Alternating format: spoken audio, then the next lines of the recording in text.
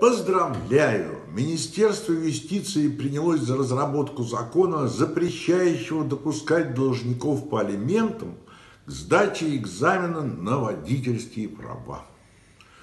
Прочитал я с утра эту новость, и у меня сразу поднялось настроение. Значит, власть не сидит сложа руки и не только думает о том, как бы повысить населению пенсионный возраст. Она заботится и об одиноких матерях, лишенных, может быть, средств существования с детем на руках и брошенных различными мерзавцами на произвол судьбы. Наконец-то прищемят голубчиков – а то распустились совсем.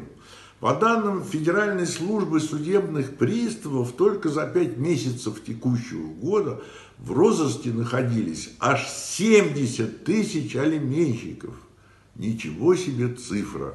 По сути, она равна населению довольно значительного населенного пункта размером не меньше, чем областного подчинения.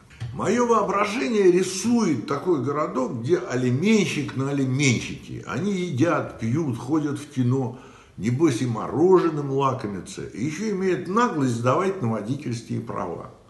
Я даже представил, как эти люди сбиваются в кучи и смеются над нами, то, несмотря на сложное экономическое положение в стране, тянет семейную лямку и в поте лица добывают средства – искупая свою былую мужскую распущенность.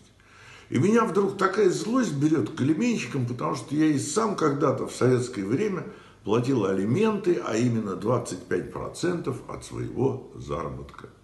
На месте законодательных органов я бы пошел еще дальше и распространил бы запрет для лиц, пренебрегающих родительским долгом, на вождение велосипедов, плавающих средств, а ведь есть еще и воздушные суда, и среди летчиков найдутся те, кто не без греха. Так что любишь кататься, плати алименты.